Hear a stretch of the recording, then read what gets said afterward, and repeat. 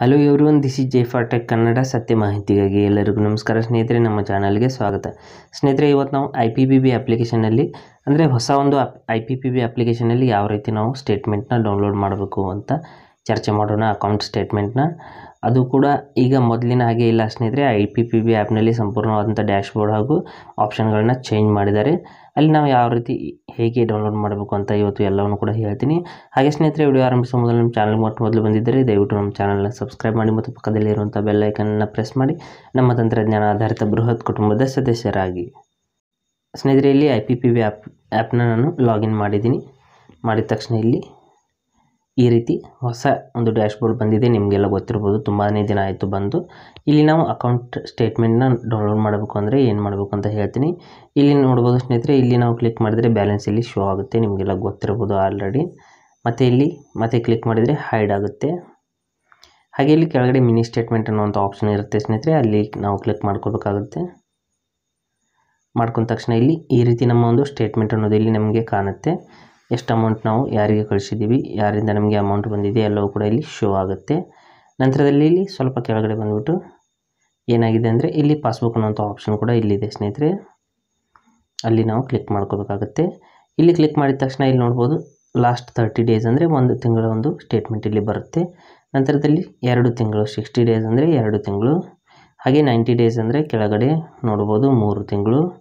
ಹಾಗೆ ಇಲ್ಲಿ date range ಅಂದರೆ ನಾವು ಎಲ್ಲಿಂದ ಎಲ್ಲಿ ಮಟ್ಟ ಎಲ್ಲಿವರೆಗೂ ಬೇಕು ಇಲ್ಲಿ ಡೇಟ್ನ ಸೆಲೆಕ್ಟ್ ಮಾಡ್ಕೋಬೇಕು ಸೆಲೆಕ್ಟ್ ಮಾಡ್ಕೊಂಡ್ಬಿಟ್ಟು ನಾವು ಒಂದು ಸ್ಟೇಟ್ಮೆಂಟ್ ಅನ್ನೋದನ್ನು ಡೌನ್ಲೋಡ್ ಮಾಡ್ಬೋದು ಸ್ಟಾರ್ಟ್ ಡೇಟು ಮತ್ತು ಟು ಡೇಟ್ ಅಂತ ಇದೆ ಫ್ರಾಮ್ ಡೇಟು ಮತ್ತು ಟು ಡೇಟ್ ಅಂತ ಇದೆ. ನಾನು ಇಲ್ಲಿ ಫ್ರಾಮ್ ಡೇಟ್ನ ಒಂದು ಮೂರ ಮೂರ್ನಾಲ್ಕು ತಿಂಗಳ ಹಿಂದಿನ ಒಂದು ಯಾವುದಾದ್ರು ಡೇಟ್ನ ಸೆಲೆಕ್ಟ್ ಮಾಡ್ತೀನಿ. ಇಲ್ಲಿ ಇಯರ್ ಕೂಡ ನೀವು ಚೇಂಜ್ ಮಾಡ್ಕೋಬೋದು ಇಲ್ಲಿ ನಾನು ಮಂತ್ನ ಈ ರೀತಿ ಚೇಂಜ್ ಮಾಡ್ತೀನಿ.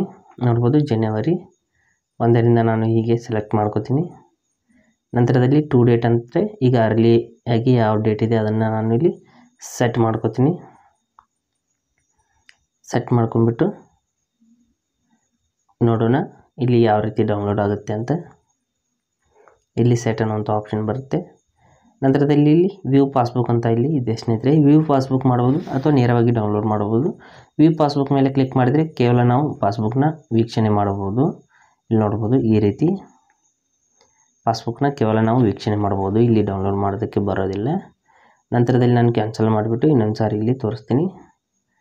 ಡೌನ್ಲೋಡ್ ಮಾಡಬೇಕಂದ್ರೆ ಇಲ್ಲಿ ಎಲ್ಲವನ್ನು ಕೂಡ ಸೆಲೆಕ್ಟ್ ಮಾಡ್ಕೊಂಬಿಟ್ಟು ಇಲ್ಲಿ ಡೌನ್ಲೋಡ್ ಅನ್ನೋಂಥ ಆಪ್ಷನ್ ಮೇಲೆ ಕ್ಲಿಕ್ ಮಾಡಿದ ಮೇಲೆ ಇಲ್ಲಿ ಪಿ ಡಿ ಎಫ್ ಹಾಗೂ ಎಕ್ಸೆಲ್ ಎಸ್ ಎಕ್ಸ್ ಅಂತ ಇದೆ. ನಾನು ಪಿ ಡಿ ಎಫ್ ಸೆಲೆಕ್ಟ್ ಮಾಡ್ಕೊತೀನಿ ಸ್ನೇಹಿತರೆ.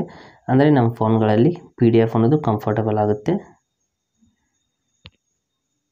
ಇಲ್ಲಿ ಇನ್ನೊಂದು ಸಾರಿ ಎರರ್ ಬರ್ತಾ ಇದೆ ಸ್ನೇಹಿತರೆ. ಮತ್ತು ಎರಡು, ಮೂರು ಸಾರಿ ಟ್ರೈ ಮಾಡಿದ ಮೇಲೆ ನನ್ನ ಸ್ಟೇಟ್ಮೆಂಟ್ ಅನ್ನೋದು ಡೌನ್ಲೋಡ್ ಆಯಿತು. ನಿಮಗೂ ಏನಾದರೂ ಎರರ್ ಬಂದರೆ ಸ್ವಲ್ಪ ಟೈಮ್ ಬಿಟ್ಟು ಟ್ರೈ ಮಾಡಿ. ಖಂಡಿತವಾಗ್ಲೂ ಡೌನ್ಲೋಡ್ ಆಗುತ್ತೆ ಸ್ನೇಹಿತರೆ. ಇಲ್ಲಿ ನೋಡ್ಬೋದು ಚೆಕ್ ಯುವರ್ ಡೌನ್ಲೋಡ್ ಫೋಲ್ಡರ್ ಅಂತ ಬಂದಿದೆ.